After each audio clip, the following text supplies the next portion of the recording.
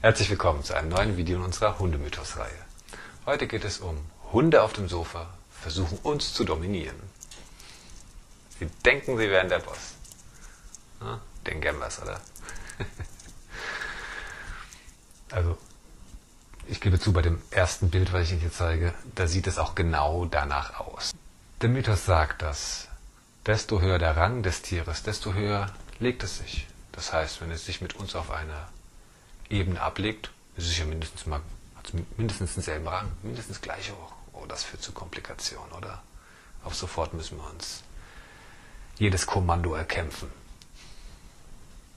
Nein, also der Mythos irrt sich, was das angeht. Ähm, ja, es kann zu Problemen kommen, wenn unsere Hunde auf dem Sofa sind. Das möchte ich auch nicht verheimlichen. Aber es kommt nicht immer zu einem Problem. Ich sage sogar eher selten. Das größte Problem ist, dass mein Hund vielleicht keinen Platz machen will, wenn ich mich hinsetzen möchte. Und er denkt, ach komm, ich liege doch auch da, leg dich ein bisschen nebendran und gut ist.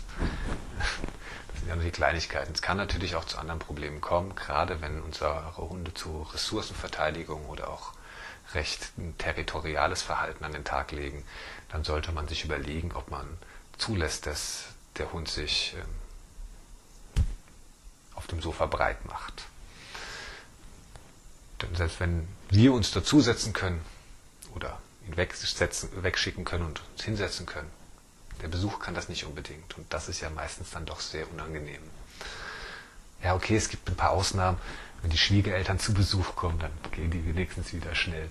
Aber sonst ähm, ja, ist das vielleicht nicht ganz so angebracht. Oder? Was meinen Sie? Gucken wir uns doch mal folgendes Bild an. Na, das sieht nicht so aus, als ob der Hund nach der Weltherrschaft trachtet. Nein, er liegt einfach nur da und will ein bisschen chillen. Vielleicht hofft er auch darauf, dass Herrchen gleich kommt und mit ihm ein bisschen schmust.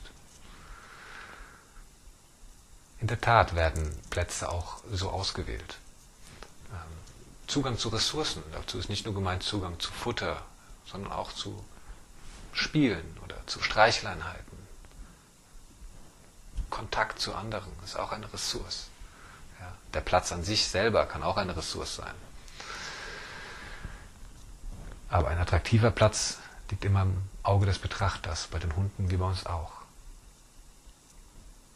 Ein netter Geruch kann auch attraktiv für einen Hund sein, deswegen mag er den Platz, weil der irgendwie immer so schön nach Essen riecht. Ne? Chipskrümel oder sowas vom Sofa. Das kann auch immer ein Trigger für die Hunde sein. Was, was kommt denn da für ein Bild? Das sind meine beiden. Die liegen da schön auf dem Sofa, kein Platz mehr für mich. Ich darf mich dann auf den Teppich legen. Ein kleiner Spaß, das ist ein extra Hundesofa eigentlich.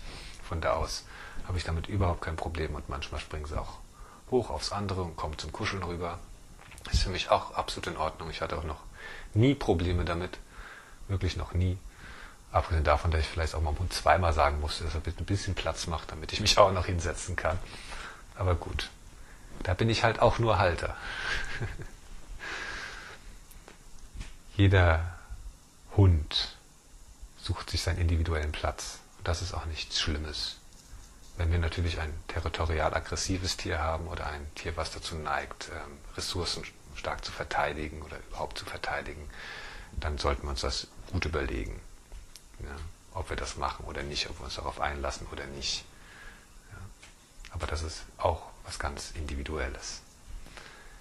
Vielen Dank für Ihr Interesse an diesem Thema. Und ich würde mich freuen, Sie im nächsten Video wieder begrüßen zu dürfen.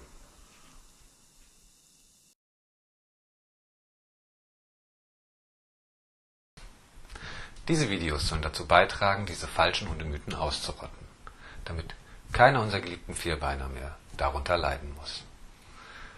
Wenn Sie das, was ich tue, für gut empfinden, geben Sie mir einen Daumen nach oben, abonnieren Sie den Kanal oder lassen Sie es mich anders wissen.